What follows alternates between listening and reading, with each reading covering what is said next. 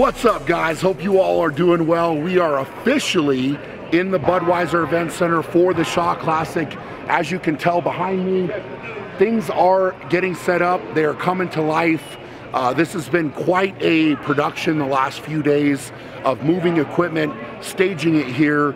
Today is the first official day that we were allowed to start setting up in the building. So the big 40 uh, foot tower is uh, kind of the main hardest thing to get set up, but then moving all of the equipment is also very challenging. So we're getting some um, equipment areas set up over here.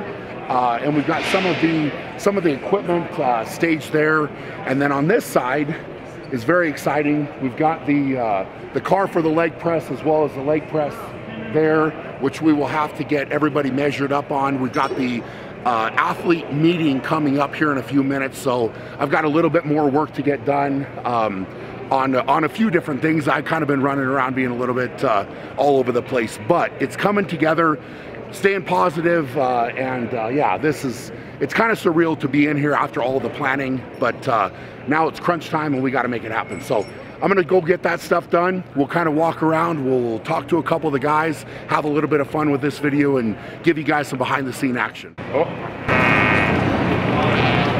Oh. Wow. Oh no. Into the fan too? Jeez. That's really? That's, yeah, son. Go I'm, I'm trying to walk and get away, but it's blowing this oh, way anyway. It's disgusting. Oh, Jesus. Oh, yeah. smell the haggis. so basically what we're gonna have guys is we'll have we'll have a judge back here in your ear on that side, and that'll be Mark, and he'll be the one that'll be giving you the the press good lift. Okay, so he's like right, right in your ear. Yes, and then we'll have somebody else over here that's looking at your ass to make sure it's not coming off the pad. Right. Yeah. So as you go, it'll be up to you to bring it down. Now, if let's just say this is the seventh event, yeah. right? So let's just say you walk out and it's like, hey, I know I need to get four to get good points or something, right? You do four, like Mitch is going right now. You hit four, you say, take it, take it. We're gonna winch it. You don't have to lower it anymore. So it can be winched at any point. The cable will be over here. But what's the delay on that, if I could ask? Like, it's not long. Not long. Okay. Here. So if he were, let's just say he were to finish this lift right there, and he were to call me right now, I want it off of me back straight. Gotta be pushed. Keep going. really more. glad I asked this question. Do more now. Don't ever stop. Keep pushing.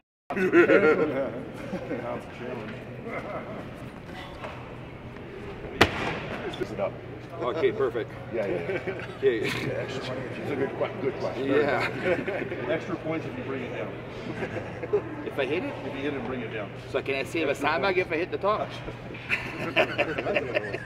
hey guys, on the, on the note,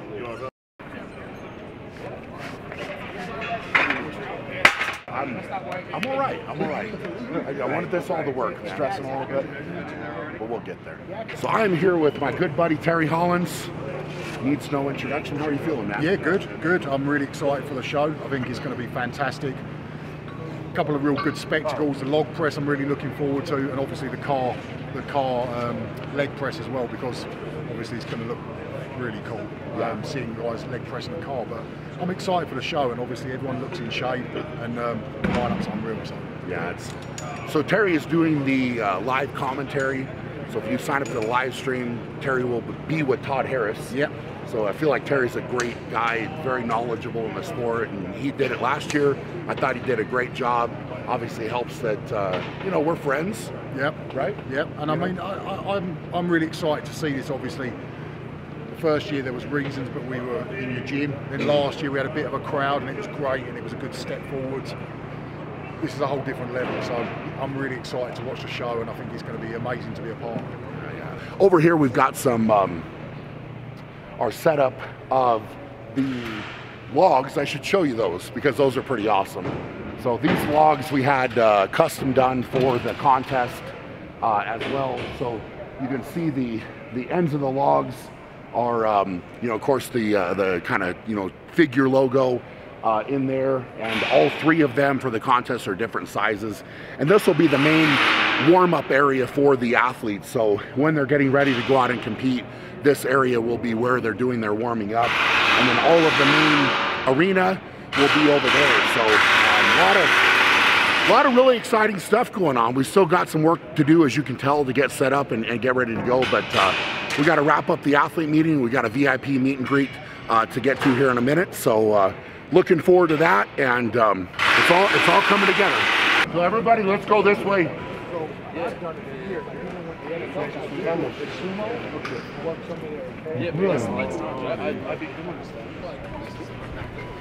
It was amazing talking through the setup of this room and seeing it come to life is pretty cool, and seeing all of you here is really, cool. So let's have some fun with this. Um, I'm going to pass it to Brian. We'll start off with the main man. So, Brian, explain the difference between a power belly and a lar- larger than average belly. And good luck to everyone. Well, we go. Uh, uh, it, it, it was between a power belly. And an average larger belly. Well, a power belly is power, right? Like, I mean, so, I mean, you, I guess if you um, have a belly and you don't have power, then it's not a power belly. Is, is that is that the, the source of your power? You know, like Samson had the hair, is it the, the belly? It is awful. I mean, the last time I had to go to the bathroom on the airplane, it was a little bit uncomfortable for all the flight staff too, because I had to leave the door open. I had to stand halfway outside